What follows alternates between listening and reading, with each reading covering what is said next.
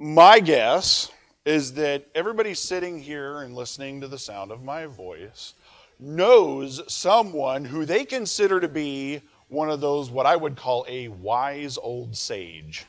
You, you, do we, everybody know one of those people? For me, it was my grandpa, or was it was, it still is. he, my grandpa is, is probably one of the wisest men I know, and I, I remember just even at a, at a young age of, of him sitting me down and we'd have conversations for I mean, they literally last for hours.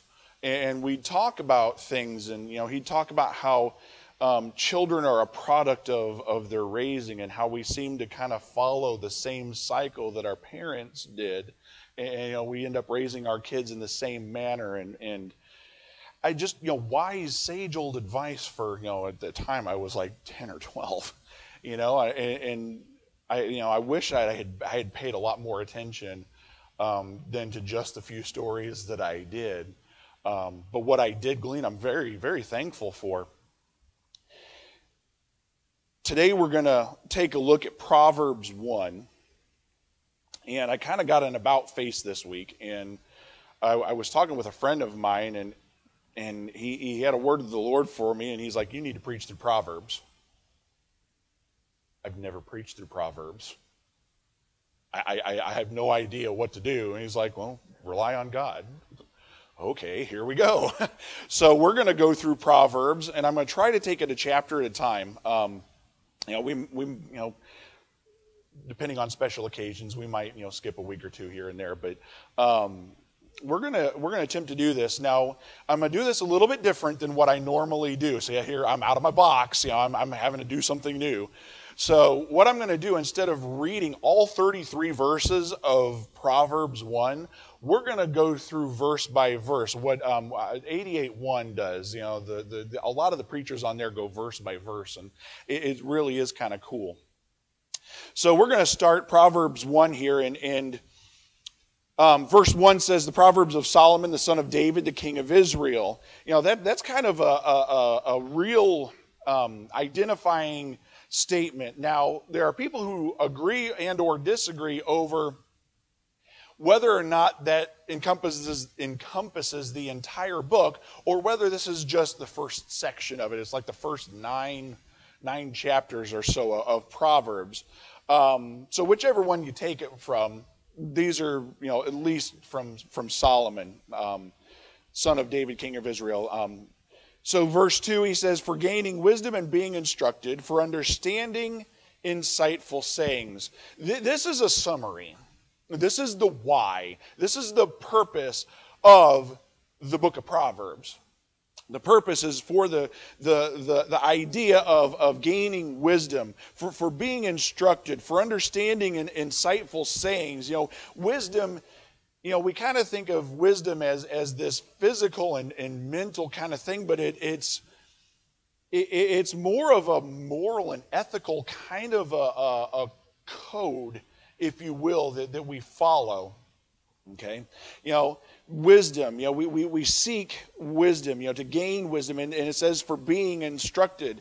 Um, um, the, the word for that, you know, kind of is discipline, you know, to be, to be disciplined in the fail, you know, in, in the faith so that we're, we're morally disciplined and, and we're able to be corrected. So that, that's the purpose of Proverbs. It's the, for the explicit, explicit purpose of, of being disciplined and, and, and corrected with this moral and, and ethical um, way of thinking.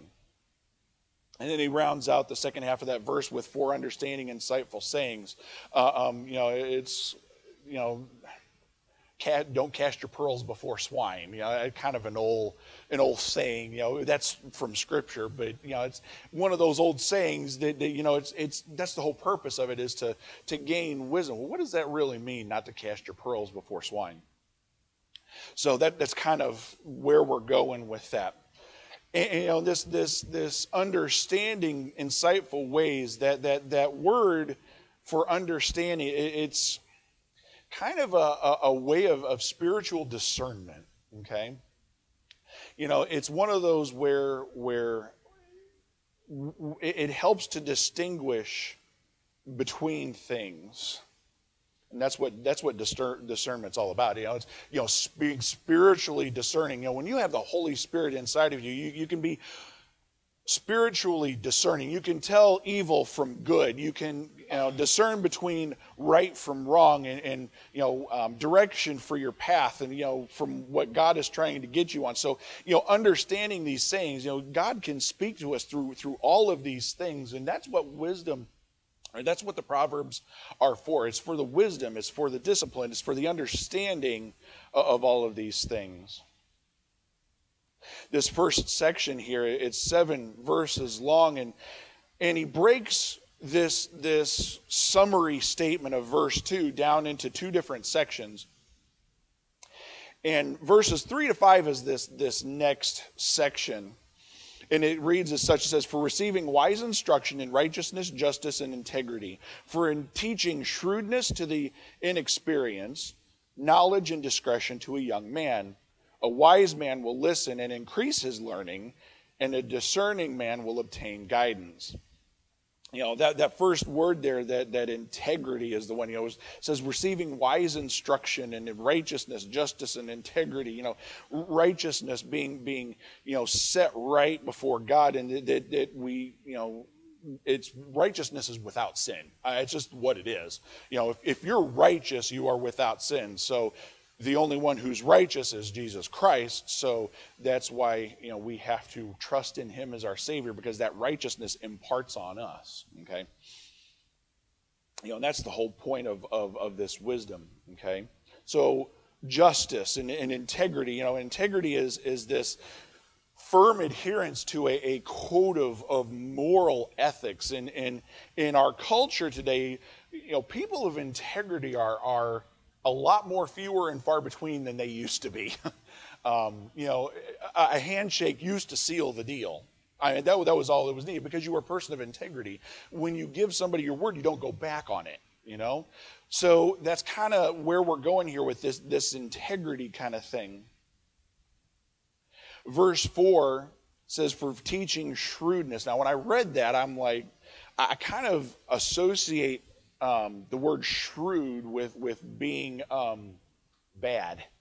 You know, I'm somebody who's shrewd. I, I kind of think of that in kind of a negative connotation, but I've discovered that the, the shrewdness is actually defined as clever discerning awareness. That's how it's defined. Clever discerning awareness. Really? Okay, so teaching shrewdness would literally mean teaching that that that that keen awareness of, of being able to cleverly discern things. So it goes right back to this opening statement. Okay, it goes back to that opening statement where, you know, it's for the purpose of gaining wisdom and being instructed and for understanding insightful sayings. It says for teaching shrewdness to the inexperienced. You know, that that's when we go when we go up front and, and we confess Jesus Christ as Lord and Savior, when we, when we make that commitment to God and to Jesus Christ, you see, we're, we're really inexperienced. And, and we need we need wisdom. We need that that that that wisdom that only God can give, that teaching and that instruction. We have to be taught how to discern between good and evil. We have to be taught how to discern between, you know, right and wrong and, and you know, how to evaluate each situation as it comes along. Verse 5 says that a wise man will listen and increase his learning, and a discerning man will obtain guidance. And, and when I read that verse, I, I kind of think of, of I go to Timothy and it says, you know, um, for men will gather among, around themselves um, teachers who will tell their itching ears what they want to hear. And that's kind of where my mind goes to that. And I realized that there, there's a, a difference.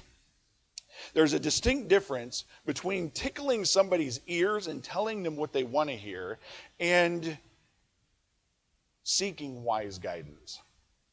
Okay? There's a huge difference if we gather people around us who are, are always I don't want to say taking our side, but but they're not telling us what they what we need to hear. They they they tell us what we want to hear, but they don't tell us necessarily what we need to hear. In other words, they're they're they don't want to rock the boat. They don't want to upset things. They don't want to risk that friendship. But a true friend will tell you what you're doing wrong and not hold any bones about it. that is a true friend. Somebody who, who is not going to hold the punches back and, and give it to you just like it is. You see, we need that kind of wisdom. We need that kind of guidance. We need that kind of, uh, of, of instruction and, and discerning ability between these things. We've got to be able to, to, to distinguish between seeking out people that tell us what we want to hear and seeking out people to tell us what we need to hear, not what we want to hear. He continues on in verse 6. He says, For understanding or a parable, words of the wise and their riddles, a, a, a wise person understands the parables that Jesus Christ tells. They're not just in the New Testament, there are parables in the Old Testament as well. A wise person understands these. A wise person can look at the book of Proverbs and, and understand the difference between two sayings that sound pretty similar. You can tell the difference between them. Somebody who is wise can, can understand the words of the wise and, and the seeming riddles that, that sometimes wisdom presents before us. A wise man can discern between that verse 7, he says, The fear of the Lord is the beginning of knowledge. There you go. That is the crux of the matter. It's the essence of true knowledge. The essence of true wisdom is a fear of the Lord. Fools despise wisdom and instruction. You see, most of the proverbs that we're going to cover in this book compare the wise and the foolish. They compare the two of them. And it's no difference. He starts off here in verse 7 with that very thing. You see, the essence of true knowledge, the essence of true wisdom is the fear of the Lord. That's where it starts. It starts by fearing the Lord awe, apprehension, and appreciation.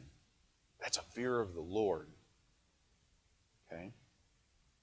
The fools, that word fool there is, is somebody who's arrogant. It's somebody who's coarse. It's somebody who, who ends up rejecting God. It's somebody who, who ends up rejecting not only God, but godly wisdom.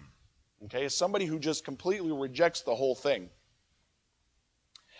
We continue on to the second, the second um, um, section here, and it, the second section is is it talks about you know this this violent path. Verse eight it says, "Listen, my son, to your father's instruction, and don't reject your mother's teaching." You, you see, why should we listen and learn? Well, he goes on. He says, "For there will be a garland of grace around your head and a gold chain around your neck." In other words, it's going to save you from making stupid mistakes.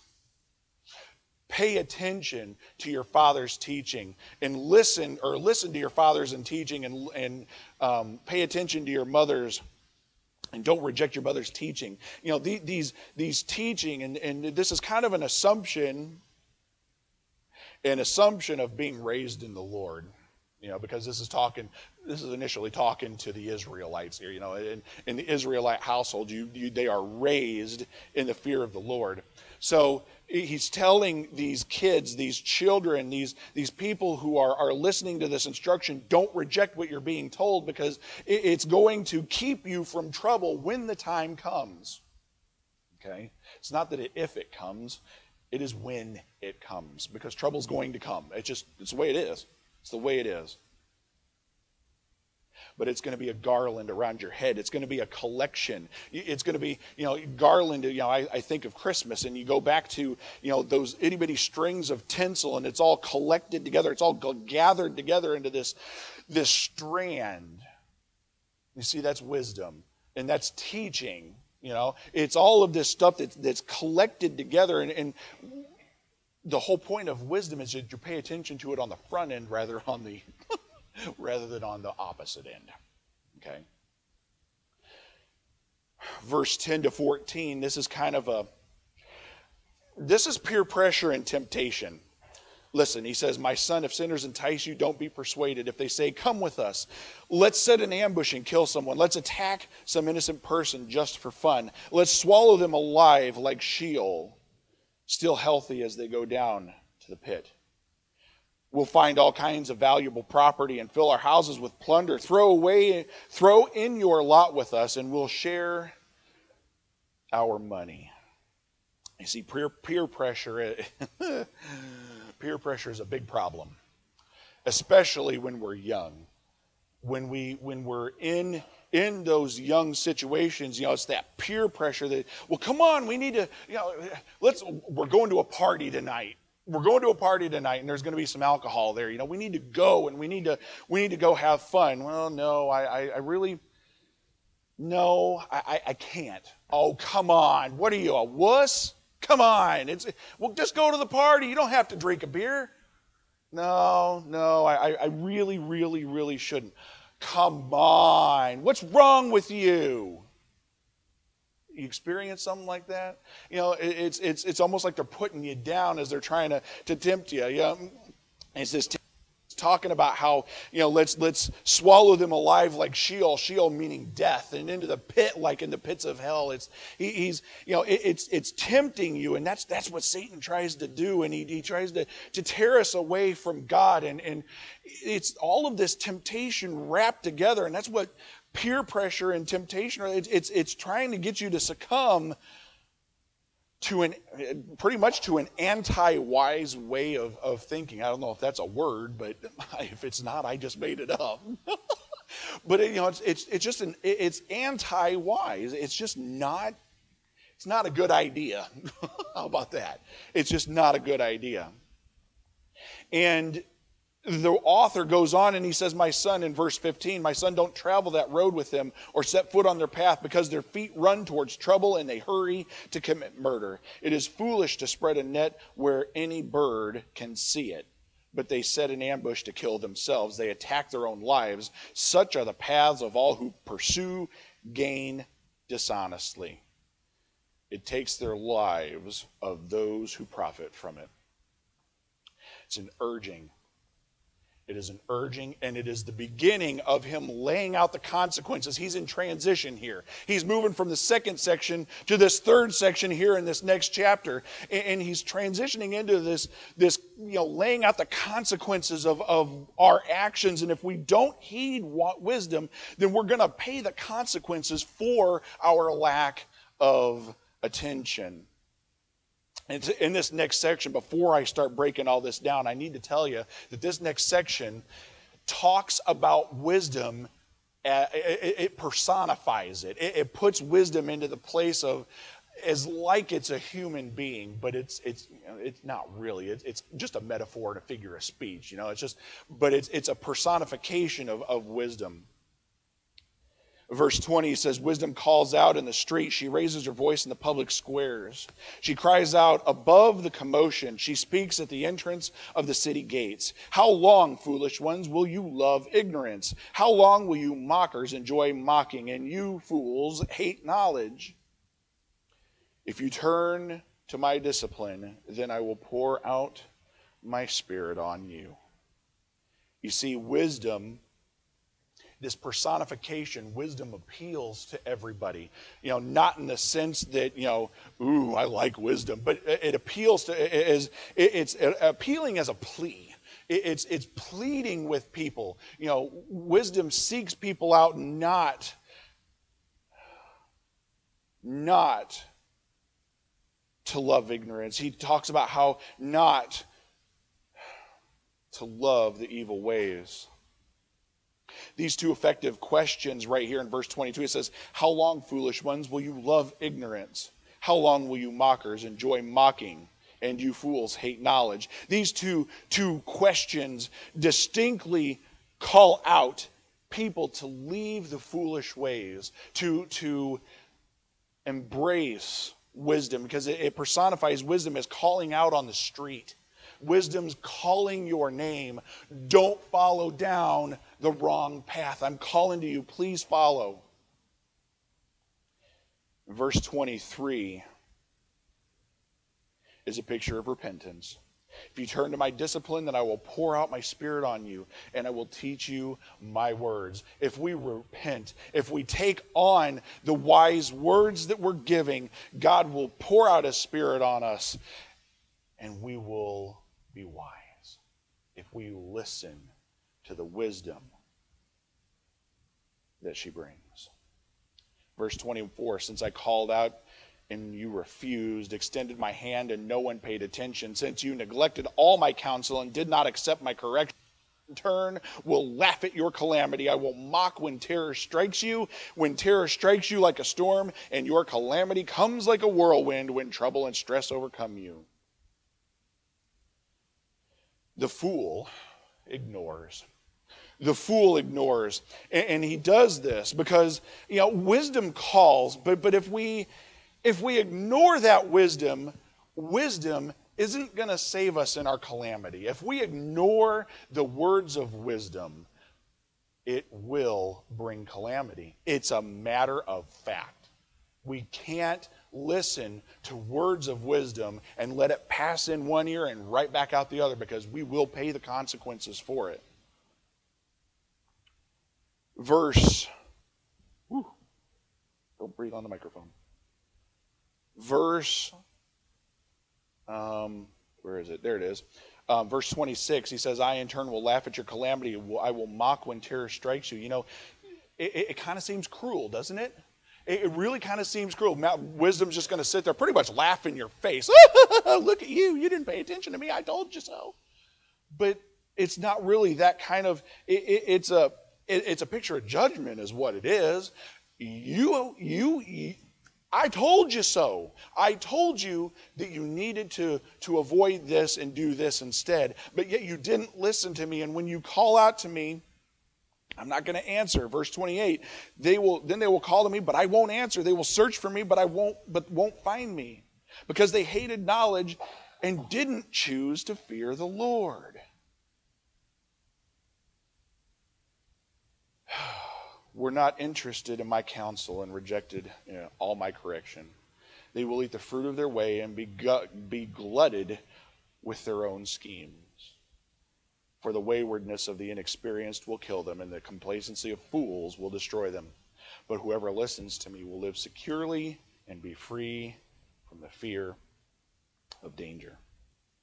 It's the consequences of not heeding wisdom wisdom calls out to us, but if we ignore, we will pay the consequence at our own risk. The fool ignores wisdom, and he does so at his own risk. The consequences for not fearing the Lord, my friends, are very steep.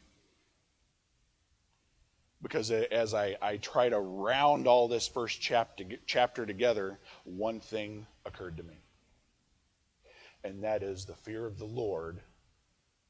Verse 7a, the fear of the Lord is the beginning of all knowledge. You know what? The fear of the Lord is the beginning of all knowledge. It comes down to a belief in Jesus Christ as Lord and Savior.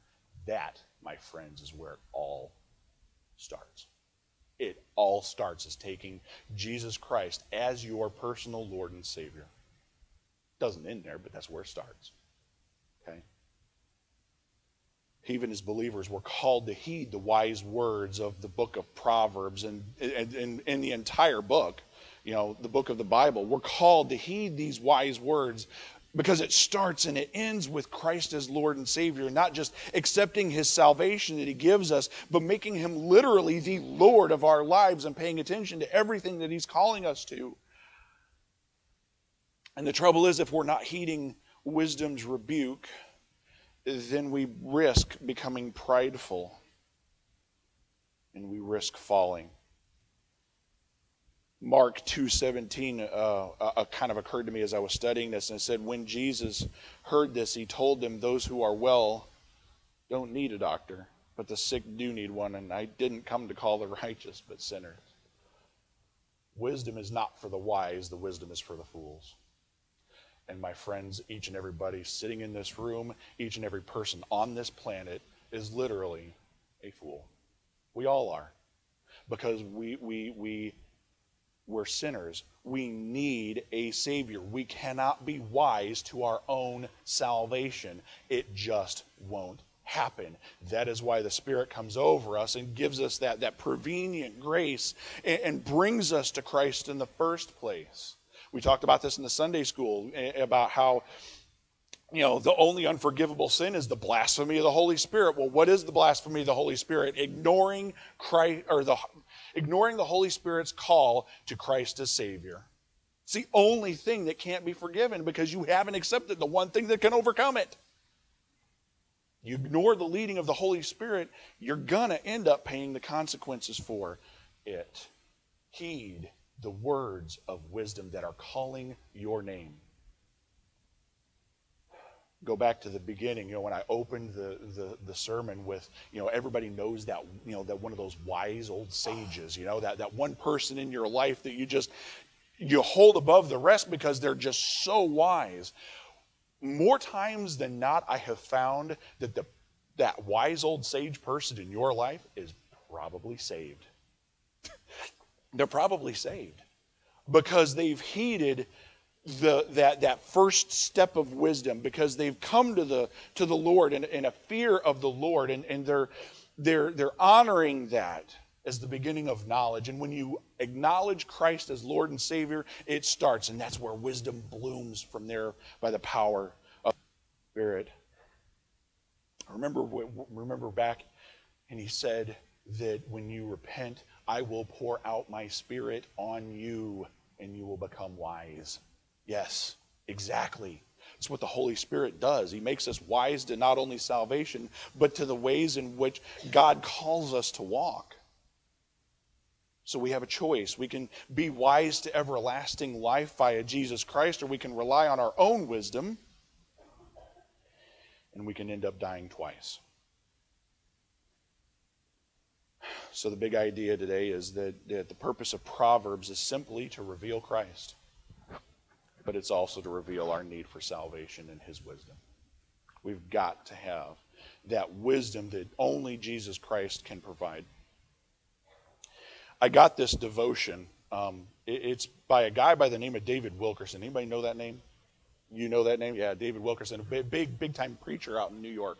Um, the Times Square Church, if nobody's ever heard of him, um, died ooh, three years ago in a car accident. Um, just just over the anniversary just happened. Um, oh my gosh, you talk about a wise old sage, David Wilkerson, man. He is, I get his devotions every, uh, every day and unparalleled, unparalleled to anybody else that I've read. And when I read this, I'm like, oh my gosh, this is an invitation. Indulge me for a moment. I'm going to read this. If you are a member of the body of Christ, get ready to face a mad devil. You may not want to think about it or even accept it, but if you have determined to follow Jesus with all your heart, Satan has marked you for destruction. And he's going to flood your life with troubles of all kinds. The Apostle Peter warns the end of all things is at hand. Be ye therefore sober and watch unto prayer. 1 Peter 4 7. He is saying, in other words, this is no time for lightness. You have to get a sober mind, you have to get sober minded about spiritual matters. It is an issue of life and death. Why the need to be so serious? The end of time is near, and our enemy has turned up the heat. He's stalking us like a lion, hiding in the grass, waiting for an opportunity to pounce. He wants to devour us, to utterly destroy our faith in Christ. Some Christians say we shouldn't even talk about the devil, that we're better off just ignoring him. Others try to reason him out of existence. Liberal theologians, for example, argue that there is no devil, no hell, and no heaven. But the enemy of our souls is not simply going to go away. Few biblical figures have been identified so clearly and extensively. He is described as Lucifer, Satan, devil, deceiver, hinderer, wicked one, usurper, impostor, accuser, devourer, God of this world, ruler of darkness, old serpent. These emphatic descriptions tell me the devil is real, and we know from Scripture that he wields a very real power. Even now, He is at work on earth in our nations, our cities, our churches, our homes, and in our individual lives. And we dare not be ignorant of His methods and strategy of warfare against us. Be sober, be vigilant, because your adversary, the devil, as a roaring lion, walketh about, seeking whom he may devour, whom resist steadfast in the faith, steadfast in, in the faith knowing that the same afflictions are accomplished in your brethren are, that are in the world. 1 Peter 5 8 and 9. Wiser words have never been spoken. That's why I shared that because it fits so well in with the, this this the beginning uh, of of fear of the Lord is the beginning of all wisdom and knowledge. If we if we believe that the fear of the Lord is the beginning of all wisdom and knowledge, then we have to believe that the opposite. We have to believe that the devil is out there working against us at every single point. Ephesians 6, we've got to put on the full armor of God the helmet of salvation, the breastplate of righteousness. This, this stuff isn't just for, you know, it, it's not just in there for, for um, you know, words and, and directions. This, this is literal stuff. We have to put this, this helmet on our head, this helmet of salvation to guide and guard our mind. You know, this, this is all protective gear. You know, the, the, the sword, you know, the sword of truth. You know, the sword is not just an offensive weapon, but it's also a defensive weapon against the devil. Because Ephesians 6 talks about how we can deflect all the flaming arrows. Pray a hedge of protection around your family. Pray a hedge of protection around your, your, um, the church, uh, uh, a, a, I mean, anything. It doesn't make a difference what you pray a hedge around. Pray it.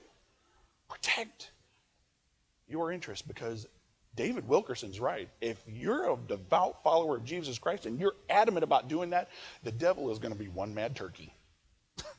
he just is. He's going to be torqued off. If you've never accepted Jesus Christ as your Lord and Savior, do it now do it now. But I guarantee you, when you accept Him as Lord and Savior, it is not going to be an easy path. It is probably going to be the most difficult path you've ever walked in your entire life. Ask any person in this church, and they will probably confirm that. Guarantee it. We've all had our struggles. The point is, is that we've got a family to rely on. We've got the Holy Spirit, and we've got a God who can move mountains. I've seen it. I've seen it. Saw it in the, in the life of a seven year old girl this week, which darn near brought me to tears. It's moving. Yes, ma'am. Go for it. It's all yours. Those that have a word, please share. Yep, it, it should be on. If it's not, John will get it on. Am I on? I don't know what I'm going to say. I just know the Spirit of the Lord is upon me. Otis talked about being pumped. I'm pumped. I'm excited. I'm full, and it's got to come out. Probably in tears and or words in my mouth because what's in my heart comes out of my mouth. I'm excited because we all have a commission, and that's to share the love and the forgiveness of our Lord Jesus Christ. And that's what I'm getting ready to do. Would you be willing to go into prison to do that for these ladies at Rockville? Probably not. But I know that you are, you have, and you continue to support me in doing so. And I can't wait to do it. There's lots of chicken and noodles back here, and I hope that you join us. If you don't, please come back and get some and take with you. And I thank you for um, helping me share the love of our Lord and Savior Jesus Christ. Thank you, Miss Donna. The Spirit of the Lord's been on this place in the past, especially past month or two. It's been here. I've seen people moved, you know, people moved to prayer, whatever the case may be, I've seen it. The Spirit of the Lord is here. Have no doubt about it stand and sing with me.